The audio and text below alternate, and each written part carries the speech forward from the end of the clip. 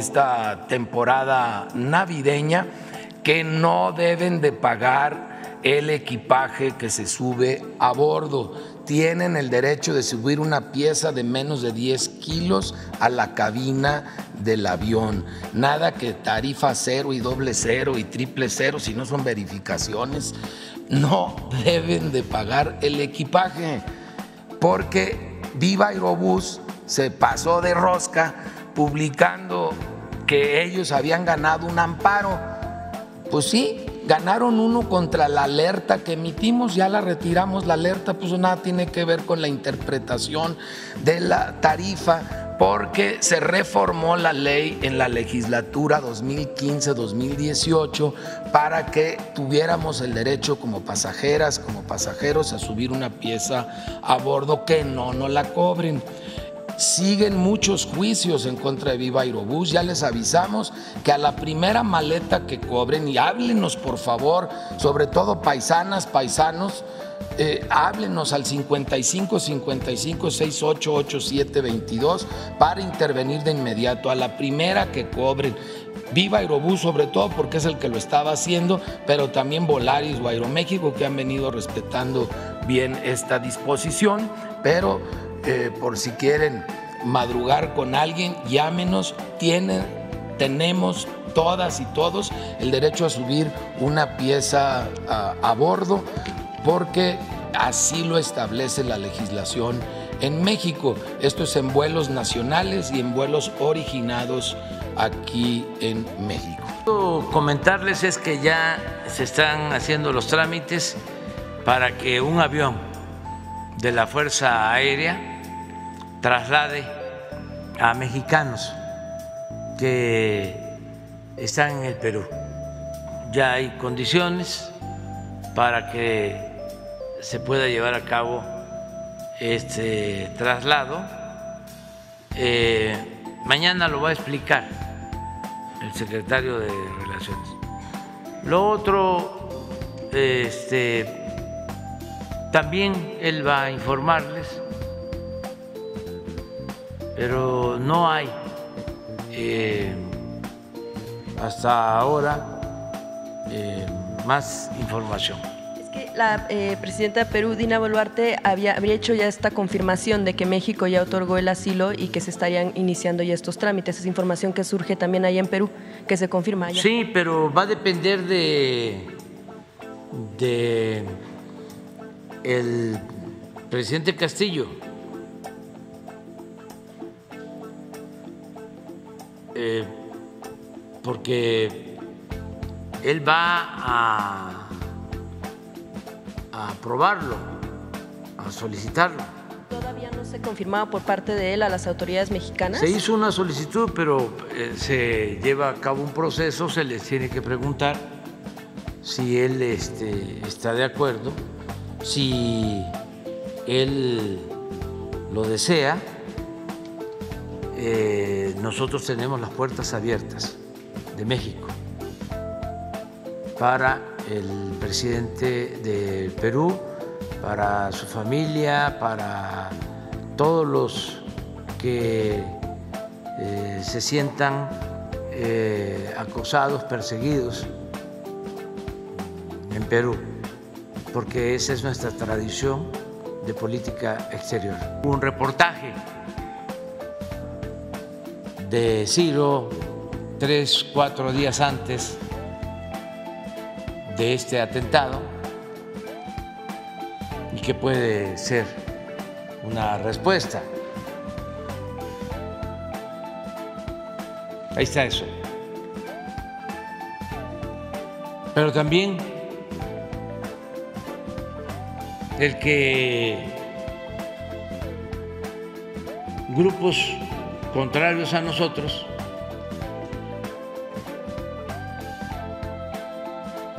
para afectarnos.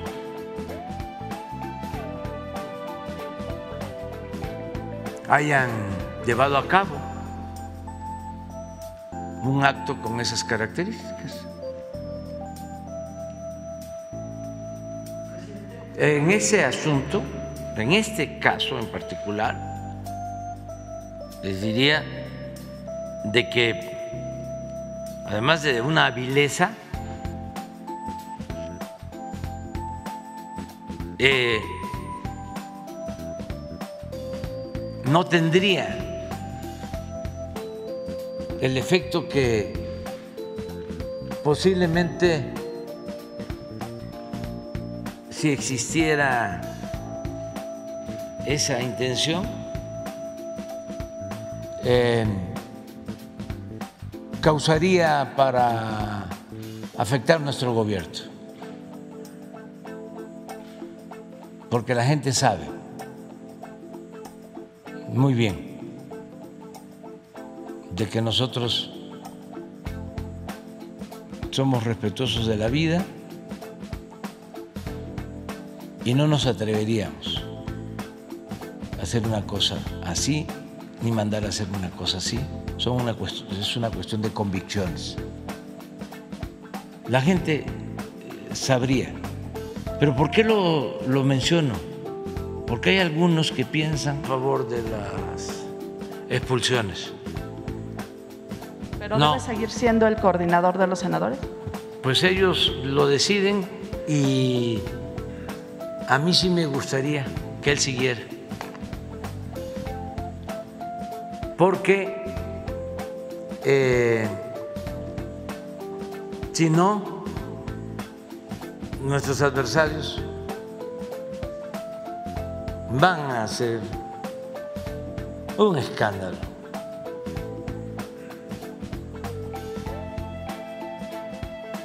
No, no, no, no, no, no, no. Es que no pasa nada, ya cambió todo.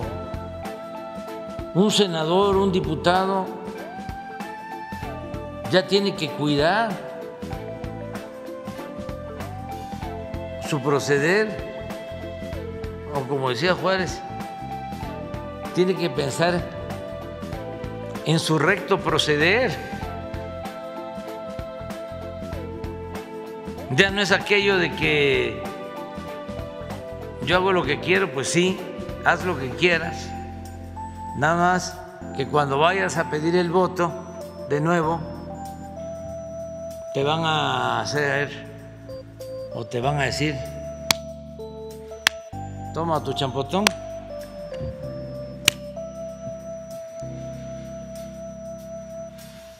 Así están las cosas. La verdad, es un momento estelar en la historia de México. Y la invitación aquí es un agradecimiento a los que votaron a favor. Porque lo otro, ya lo hemos dicho, era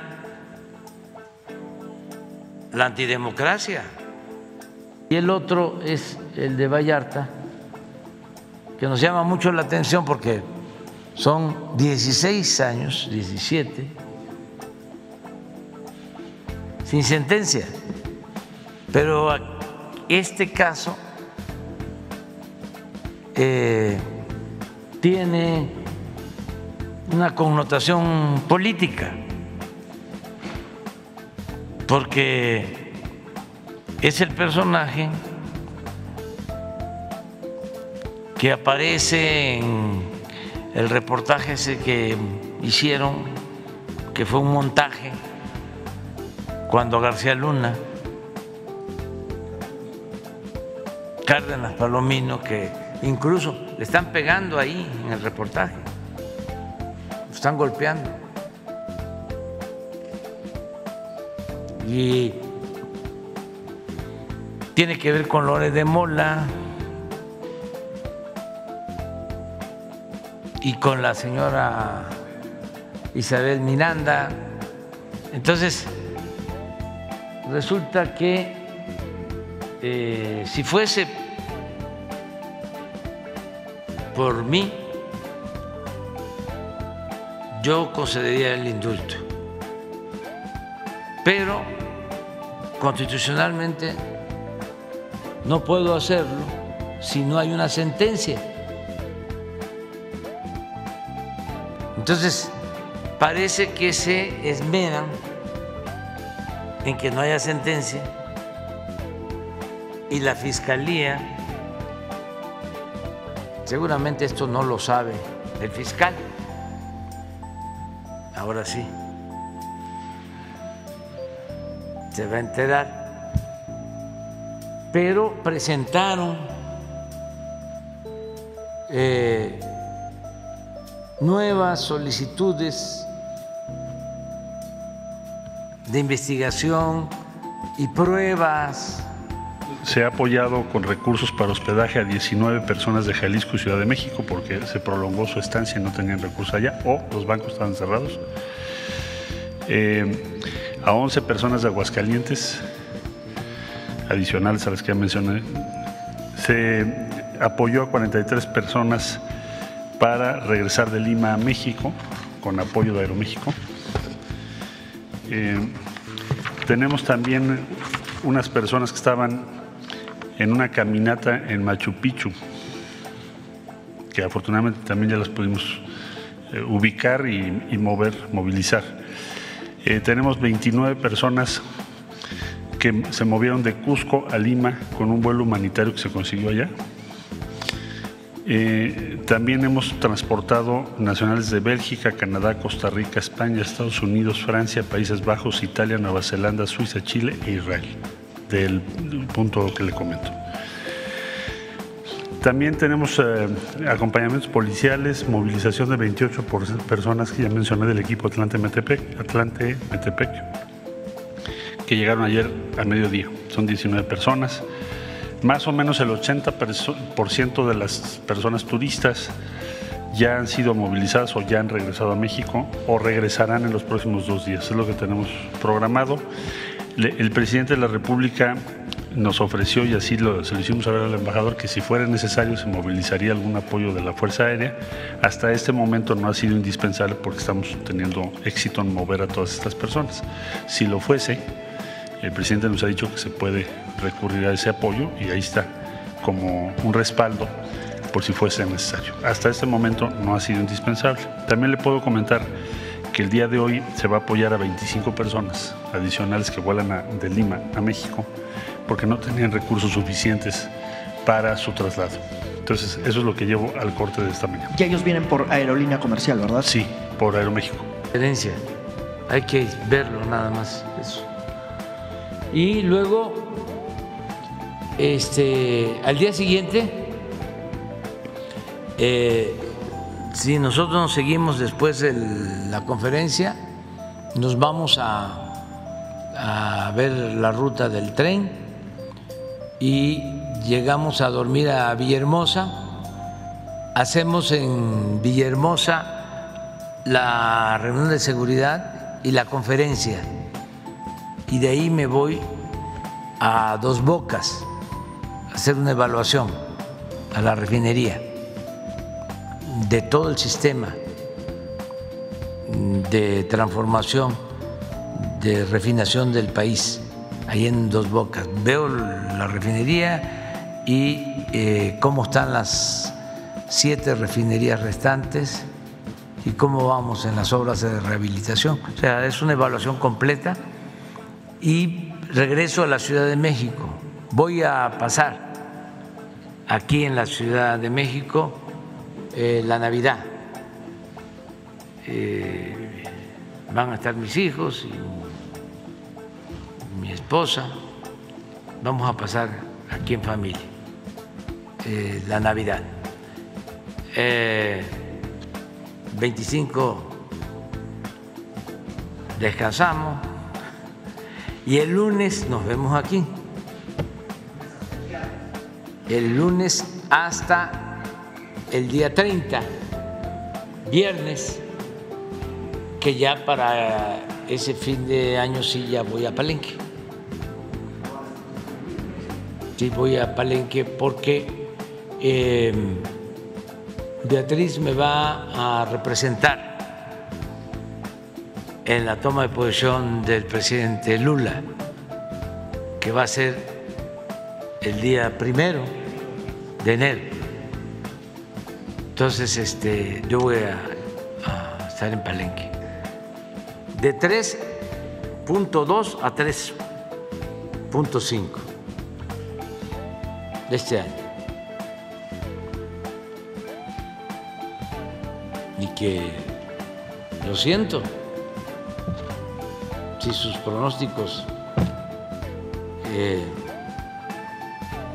no se cumplen. Pero yo estoy contentísimo porque es crecimiento y ahora con el añadido de una mejor distribución del ingreso, porque antes era crecimiento a secas y ahora es crecimiento con una mejor distribución de la riqueza, porque crecer por crecer, no, eh, significa eh, bienestar para el pueblo, no necesariamente significa bienestar para la gente. Decía don Jesús Silva Gerson que progreso sin justicia era retroceso. Y yo les hablaba de lo que coreábamos cuando estábamos estudiando en ciencia política no te dejes engañar cuando te hablan de progreso, porque tú te quedas flaco y ellos aumentan de peso. Lamentar la decisión que tomó el gobierno de Perú, un gobierno muy cuestionado en su conjunto por su proceder, sobre todo por eh, optar por la represión.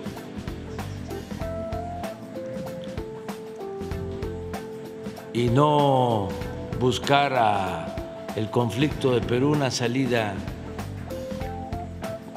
mediante el diálogo y con el método democrático de convocar a elecciones lo más pronto posible para eh, evitar que haya una situación de inestabilidad política que, como lo hemos dicho muchas veces, afecta fundamentalmente al hermano pueblo de Perú. Sabemos distinguir muy bien entre lo que es el pueblo de Perú, que es un pueblo hermano, y la actitud de la llamada clase política, de los grupos de poder económico y político del Perú, que son los que han mantenido esta crisis en ese país por sus ambiciones personales, por sus intereses económicos. Comprendemos que es abajo. Estos están como Cedillo, el gran técnico de la oligarquía mexicana, como fue el que los rescató con el Fobaproa, que convirtió las deudas privadas en deuda pública y fue el que les entregó los ferrocarriles lo consideran todavía como el gran economista, técnico de altos vuelos. Bueno, cuando el FOAPROA, y hay pruebas, en su informe, cuando dio a conocer que iba a llevar a cabo el rescate de bancos y de empresas, estimó que nos iba a costar el rescate 180 mil millones de pesos. Y hasta hoy nos ha costado 3 billones. Se equivocó por muy poco. Pero ustedes pregúntenle a un técnico eh, conservador qué opinión tiene de Cedillo como economista. Les va a decir, es un genio, son todos estos mitos que fueron creando para saquear, para robar, para manipular, para tener engañados los pronósticos que hacen nuestros eh, adversarios o sus voceros. No es un asunto de ustedes, es una política con una línea editorial de los de arriba, porque están molestos. Por lo general, los medios de información en México están en manos de empresarios. Son muy pocos los medios de información, de periodistas. Los dueños eh, son empresarios. Incluso, ya lo he dicho en otras ocasiones, ni siquiera la empresa de comunicación es la más importante en el conjunto de sus corporaciones económicas. La empresa de radio, la empresa de televisión la sostienen para mantener influencias y sacar contratos y beneficios del gobierno. Entonces, aun cuando eso no es lo más importante, de todas maneras, pues eh, están molestos porque nos hemos ahorrado 40 mil millones de pesos que ya no se entregan de publicidad a los medios de información. Entonces, en tus estaciones de radio, una o dos, y son este, cadenas, en todas están en contra de nosotros. O sea, me dejo de llamar Andrés Manuel. Si no es cierto lo que te estoy planteando. La gran diferencia, la diferencia más importante, es que el Estado ya no es el que viola los derechos humanos, como era antes. Yo eh, no sería capaz, no me atrevo a mandar a matar a nadie. Una vez le preguntaron al maestro Pani, que era secretario de Hacienda, muy cercano a Obregón, que por qué no buscaba la presidencia si él era amigo del presidente. Y lo que respondió Pani fue, no puedo, porque yo no me atrevería a mandar a matar a nadie.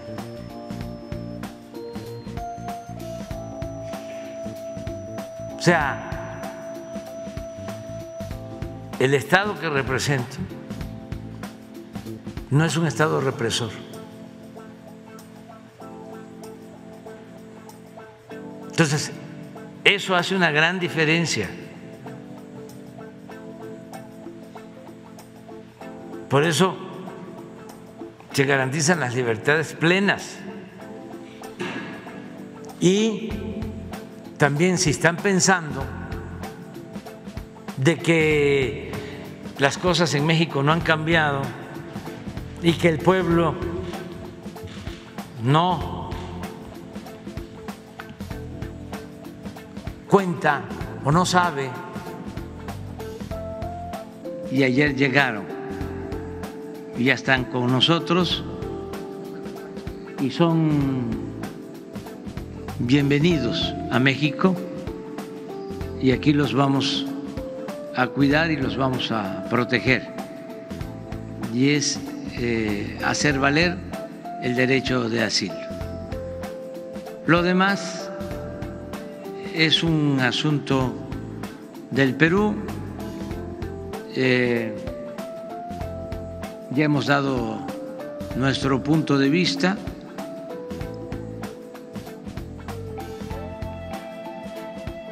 Sostenemos lo mismo que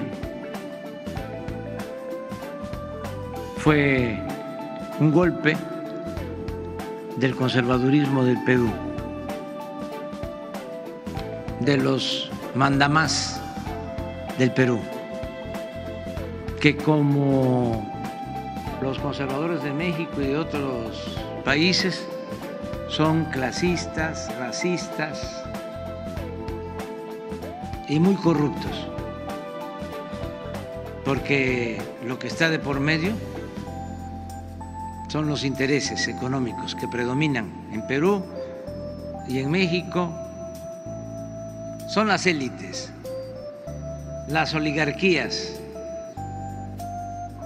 de los países, no solo del continente americano, sino del mundo.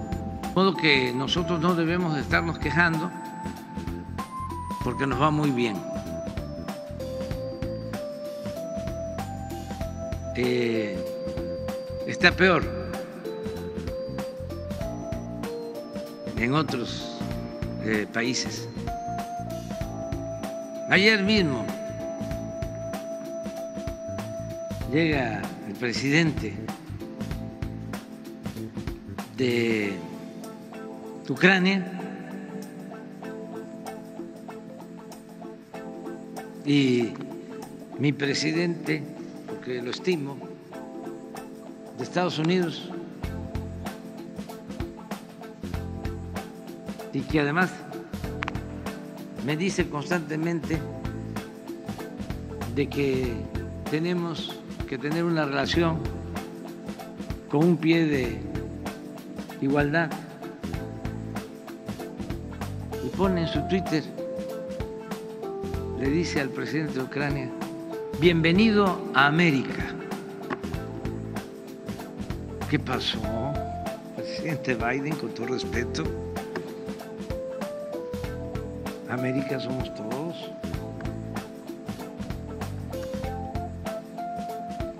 Y suele pasar que en Europa y en otras partes, cuando se habla de América, pues es Estados Unidos. Pero América es el Perú. Pues es Guatemala y es Belice y es México. Y yo no digo que se le dé la bienvenida a un presidente. Lo que no me gusta es el modito. ¿Cómo bienvenido a América? Vamos a empezar ya por cambiar eso. Es bienvenido a Estados Unidos. Bienvenido a México bienvenido a Perú. Ya estamos llevando a cabo en Playa del Carmen y en otros municipios eh, programas de desarrollo urbano, precisamente para aminorar el contraste de que son zonas turísticas con colonias marginadas, donde viven los trabajadores del turismo sin servicios y en condiciones deplorables. Entonces, ya estamos aplicando estos programas, incluso en Playa del Carmen. Ya está trabajando, ya ha, hecho eh, acciones eh, la Secretaría de Desarrollo Urbano, pero vamos a ver este, si se puede extender eh, el programa que incluye eh, calles, drenaje, agua, vivienda y regularización de la tenencia de la tierra. Es un programa integral que estamos llevando a cabo. Eh, hay que ver este, si podemos ampliarlo, se lo planteamos hoy a Román y eh, vamos a pedirle a la doctora Raquel Sosa, que es la del sistema de universidades Benito Juárez, para que visite ahí la colonia y si tienen el terreno, este, podríamos pensar en eh, la universidad. Lo ideal sería como lo están planteando, que sea educación básica, media superior y universitaria. Pero vamos a ver. Mi reconocimiento, primero que nada, al señor presidente de la República, licenciado Andrés Manuel López Obrador, como el primer presidente en la historia de nuestro país en hacer una inversión sin precedentes para traer desarrollo a nuestro estado, al sureste mexicano, a Quintana Roo por mejorar oportunidades de progreso en esta hermosa región con un gran potencial económico y social y sobre todo por voltear los ojos hacia quienes más lo necesitan. El objetivo, reducir las brechas de desigualdad. Gracias por esa visión integradora, por la voluntad y sobre todo por una determinación política en esas obras, grandes obras, en búsqueda de una planación importante para los próximos 50 años y más de nuestro bello estado. Obras que trascienden en el tiempo.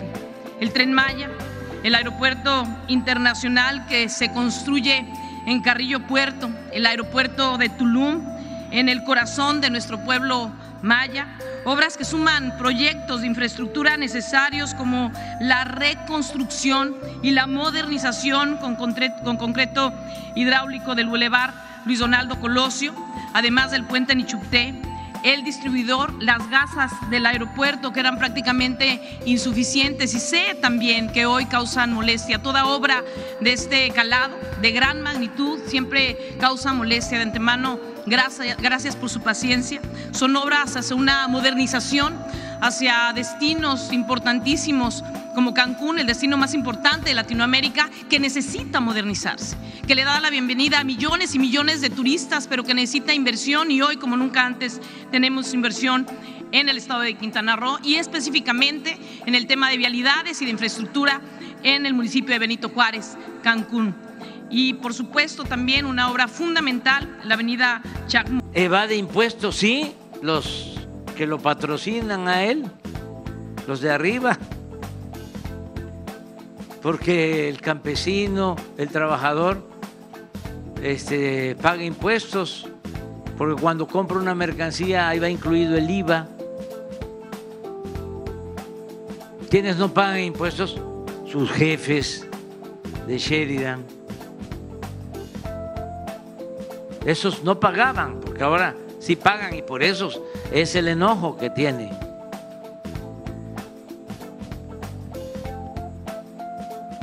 Compra y vende piratería, zarandea a los peatones, no duda a la hora de hacer tranzas. No, pues, ¿cuánto le daba el gobierno al grupo letras libres de... ¿No tienes la lista?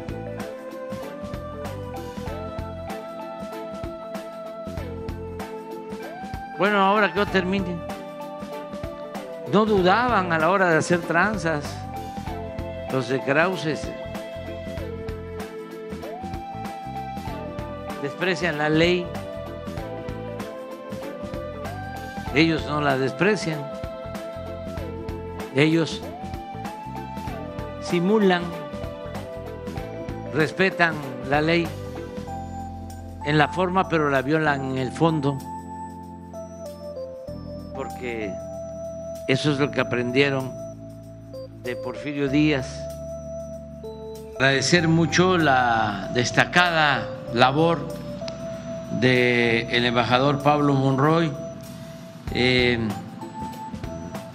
es un timbre de orgullo el representar a México en una situación de conflicto y eh, poner en alto el principio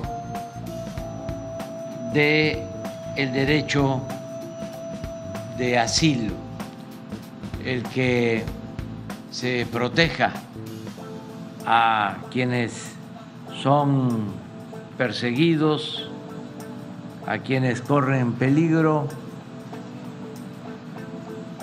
que se les eh, protejan sus derechos humanos. Esto ha caracterizado, lo hemos dicho varias veces, y es de lo que más se sabe de política exterior en México y en el mundo. La actitud siempre consecuente de México para garantizar protección y asilo a perseguidos en los distintos países del mundo. Es una tradición que data de muchos años, que tuvo su mejor época durante el gobierno del general Lázaro Cárdenas, cuando se dio protección, asilo a españoles, también a judíos y en los años 70, cuando eh, se llevaron a cabo muchos golpes de estados en América del Sur. Tiene que resolverlo la autoridad competente. Yo, eh, en este caso, no soy eh, objetivo del todo porque considero que cualquier eh, error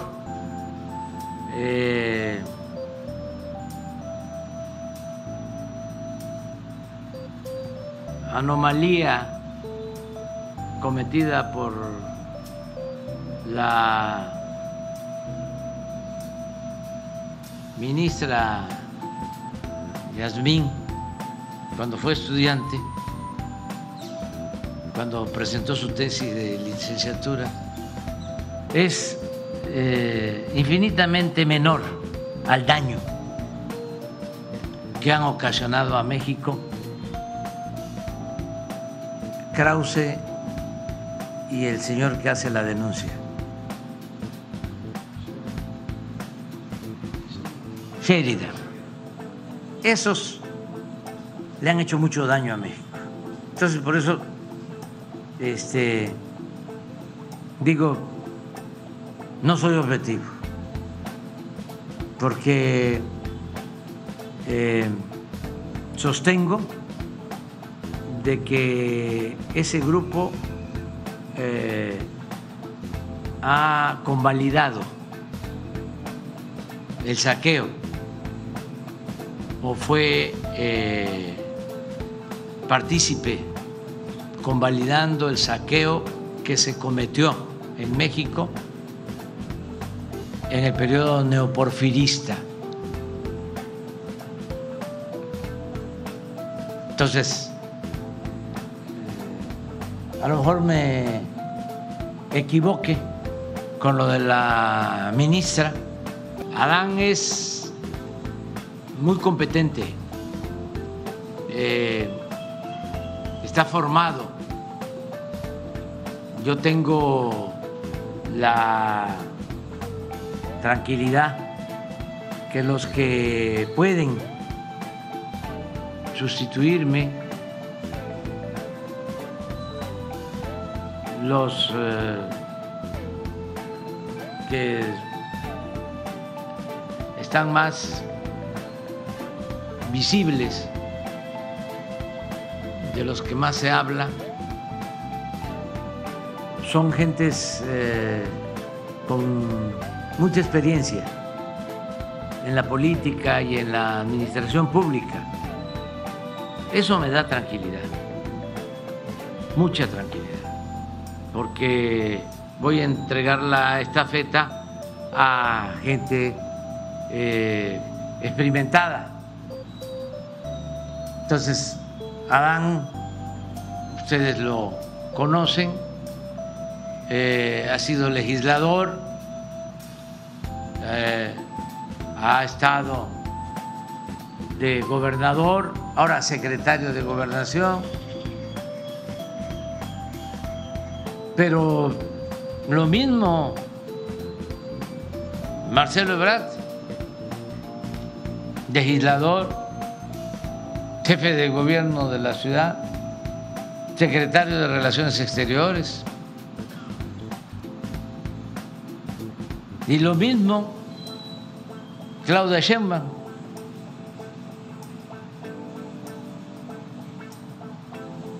jefa delegacional, eh, jefa de gobierno en la Ciudad de México.